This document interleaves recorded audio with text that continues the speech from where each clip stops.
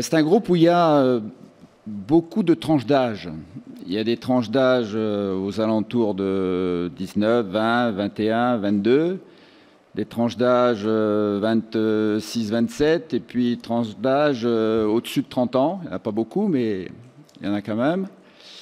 Et donc, il faut, fonctionner euh, avec tous ces joueurs, avec un, un canal différent, parce qu'on ne parle pas de la même façon à Kylian Mbappé qu'on parle à, Mandanda, par exemple. Si je prends le plus jeune et le, plus, et le moins jeune, je vais pas dit le plus âgé, hein, le moins jeune.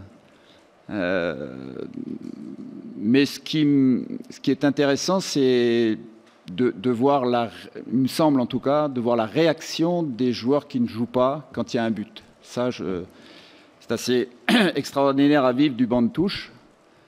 Et ce qu'on a vu là sur ce dernier match, euh, donc ça montre euh, que c'est pas un cliché, quoi, que de dire que, que le groupe vit bien, c'est quelque chose de réel.